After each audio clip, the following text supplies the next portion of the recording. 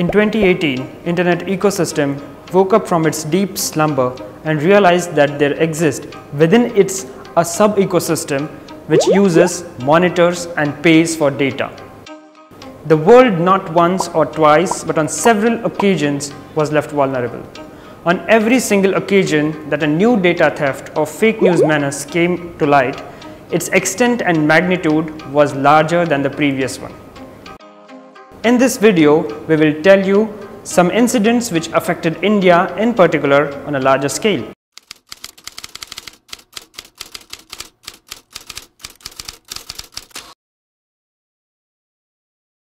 In August 2018, the Associated Press came out with a report which accused the search engine of tracking people wherever they go without their consent.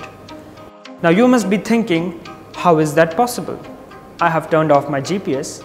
My location history is also off. The problem here is that the web app activity such as the automated weather updates lets Google pinpoint your location when you are traveling. Say suppose you are traveling from one point to another. So how does Google know which city's weather updates to show? But this doesn't stop here. It's just a matter of few random searches before your exact location is known. So next time you're traveling, don't be surprised if you see a Google prompt telling you to rate a restaurant you had dinner at.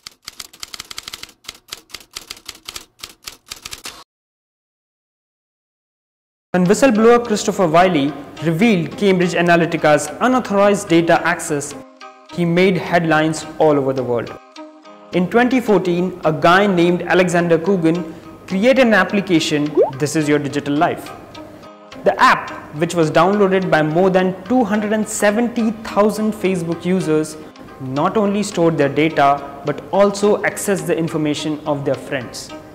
The data included likes, dislikes, their content preferences, and even the time of viewing the content.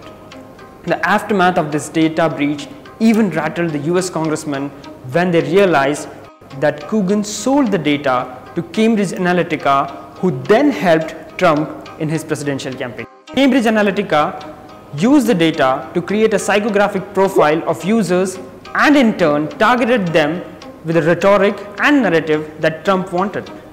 The impact of such psychological campaign may not be known as it happened two years back. But one thing is sure, the data was used to target non-Trump voters.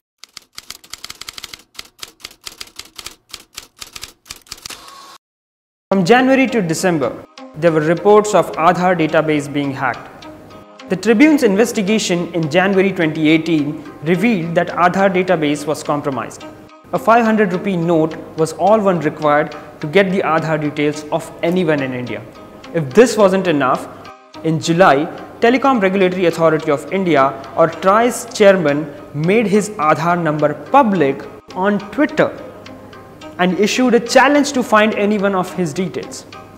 As a result, a hacker named Elliot Alderson disclosed the TRAI-chief's private information layer by layer. The most interesting part was that instead of giving up, the TRAI-chief asked, so what? But this doesn't end here. Huffington Post's investigation reported new Aadhaar cards were being made. The only difference, this time the hackers charged more. A software patch which bypassed the biometrics, broke passwords, dodged firewalls and decrypted any encrypted data which was sold to anyone for a mere 2500 rupees. And who can forget what happened in October? A sudden unwanted entry of UIDAI number in our contact list. Just for the sake of record, Aadhaar has been termed as a framework of massive surveillance by US whistleblower Edward Snowden. Rumors over WhatsApp just blew out of proportion, leading to mob lynchings across India, killing 43 persons. With over 200 million users, WhatsApp is one of the most popularly used messaging platform in India after Facebook. But the power and reality it brings in a message is far more advanced than any other medium. This video of child abduction which found its way in every home became reason for several deaths. A detailed investigation conducted by BBC recounts the horrors of rumors spread by WhatsApp. For instance, two men who had stopped to ask directions in Assam were beaten to death by a large frenzied mob. A 40 year old man who arrived in a village in Chhattisgarh was beaten to death by suspicious locals when he was not able to identify himself or tell anything about his native. When various media organizations probed this video, its source was found in Karachi and it was created with an aim to educate people against child abduction. Within the current ecosystem, it is very difficult to say how much of our data is secure.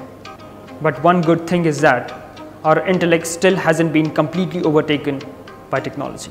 If you like this video, subscribe to our YouTube channel, like us on Facebook, follow us on Twitter. Thank you.